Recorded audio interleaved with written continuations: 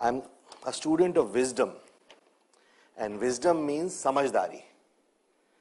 It is the insights about life, the ability to see the true nature of things, and then taking decisions which are lasting and right.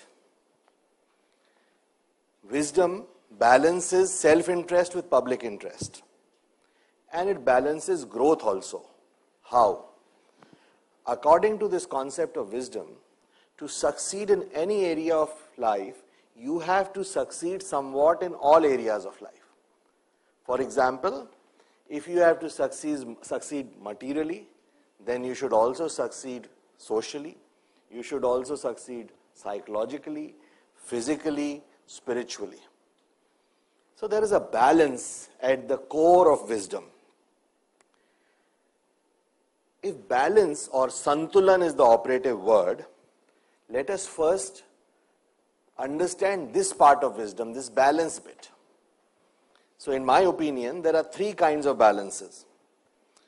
First is equanimity, which, equanimity, which my uh, the previous speaker Rajiv also spoke about. This equanimity it raises your immunity to outside circumstance outside circumstance do not affect internal conditions. So praise will not go to your head and criticism will not sting you. Similarly, success will not make you behave recklessly and failure will not depress you. So you are in a way unflappable. This is equanimity. The second type of balance is moving on the middle path, Madhyam Nikhai, Nikah, what uh, Buddha used to say. This avoids the extremes and follows the gold, golden mean. For example, you are neither cowardly nor rash, you are courageous. You are neither proud nor diffident, you are modest. You are neither miserly nor extravagant, you are liberal. And you are not depressing as a personality, nor are you a buffoon. You are good humored.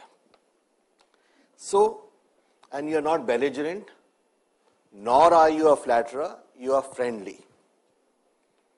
So in Hindi there is a couplet which says, ना हो इतने नरम कि कोई भी चबा जाए ना हो इतने नरम कि कोई भी चबा जाए और ना हो इतने गरम कि कोई भी छू ना पाए मध्य में आओ which means for those friends of mine who do not understand uh, Hindi, do not be so soft so that somebody can, people can just chew you, nor be so, so hot that people find uh, it difficult to even touch you.